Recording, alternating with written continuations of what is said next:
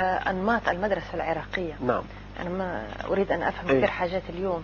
أنت كأستاذ في علم الموسيقى ممكن تقول لي آه، إيش المدارس الموجودة في الوطن العربي نعم. في على مستوى آلة العود؟ في في المدارس العود في ثلاث مدارس. المدرسة العراقية والمدرسة التركية والمدرسة الشرقية. الشرقية تضم دول مصر وسوريا وتضم الدول العربية الأخرى. استقلال المدرسة العراقية عن المدرسة الشرقية بدأ من بداية القرن العشرين على يد الشريف محي الدين حيدر. المهم في الاختلاف أن المدرسة الشرقية بقت تعتمد على الطرب. بمعنى يعني نخليها تكون توضيحية. إيه. آه، مثلا المدرسة الشرقية تعتمد على هذه الجمل اللي هي تعتبر القفلات اللي وراها الجمهور يصيح الله أو يصفق أو يعني فيها نوع من النشوة الآنية. اللي هي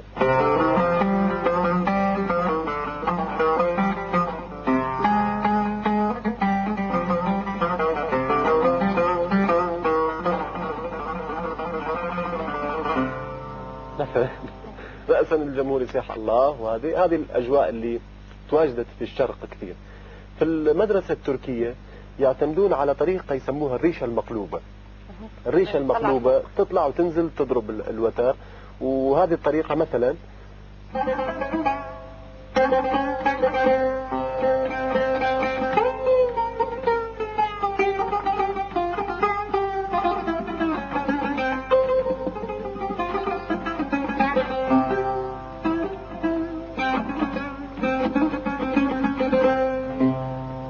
جو في شوية من التصوف وفي هذه الروحانية العالية.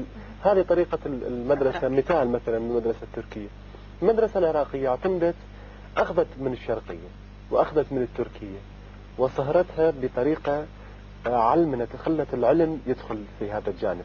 هذيك الموسيقات اعتمدت على الروح واعتمدت على الطرب على مداعبة الحواس. البرانية يعني. أما الموسيقى العراقية فيها تأمل مش الموسيقى طريقة العزف في المدرسة العراقية فيها التكنيك فيها الرؤية.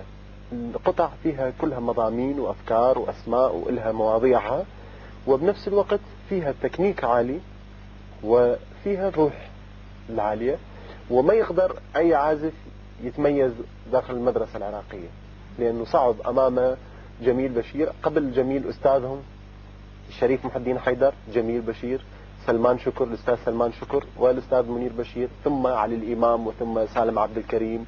ثم معتز محمد صالح. أساتذة كلهم مهمين بالعود. فلما يجي واحد يريد يخرج وسط هذول يلزم يلم بالثلاث مدارس هذه ويستوعب العازفين الموجودين في المدرسة العراقية. ويتميز. ويتميز. يلزم سنين يعني أنا ما ظهرت على المسرح من وصلت بغداد من مدينتي. وصلت 82 إلى 86 يلا قدمت أول حفل منفرد. 85 أواخر 85 86 بديت أقدم العروض المنفردة. بديت أقدم مشروع جديد في العود. في ذاك الحفل الأول قالوا النقاد ومنهم أستاذ سعاد الهرمزي أمد الله في عمره يعني من النقاد المهمين قال بزغ نجم جديد في سماء الموسيقى العراقية. من ذاك التاريخ بديت أنا أتحمل مسؤولية أنه يجب أن أشتغل لأنه أمامي أسماء مهمة جدا وكبيرة وحتى أكون بيناتهم خط جديد. ونجم جديد في هذا السماء كما يقولون يجب أن أبذل جهد استثنائي حتى عليهم. طيب طريقة العزف العراقية كيف؟ يعني أعطني يعني مثلا. التكنيك اللي أنت تحكي عنها يعني كيف؟ التكنيك شلون يضمنوه ضمن الجملة ال- ال- الروحانية مثلا؟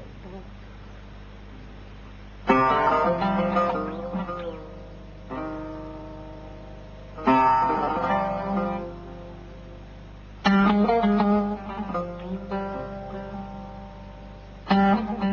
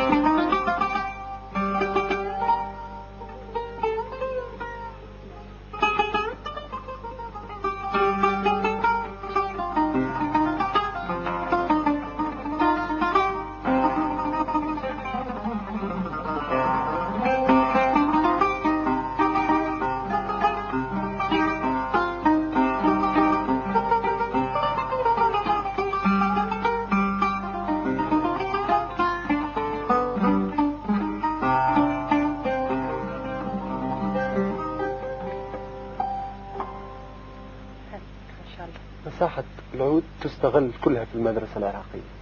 في المدارس الأخرى الاعتماد يكون إلى حد هنا.